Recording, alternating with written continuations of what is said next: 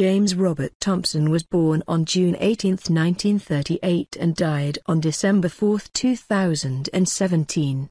He was an American statistician. Born on June 18, 1938, Thompson studied chemical engineering at Vanderbilt University before pursuing graduate studies in math at Princeton University. Upon earning a Ph.D., Thompson returned to teach at Vanderbilt for three years.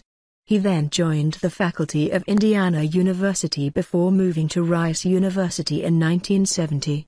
Thompson was named a full professor in 1977 and chaired the Department of Statistics twice, from 1987 to 1990 and again between 1993 and 1996.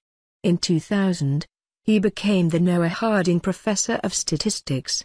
While a member of Vanderbilt's faculty, Thompson also worked at the University of Texas MD Anderson Cancer Center and School of Public Health as an adjunct professor.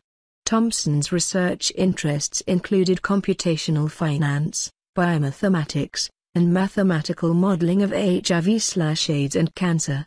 He retired from Rice in 2016 and died at the age of 79 on December 4, 2017.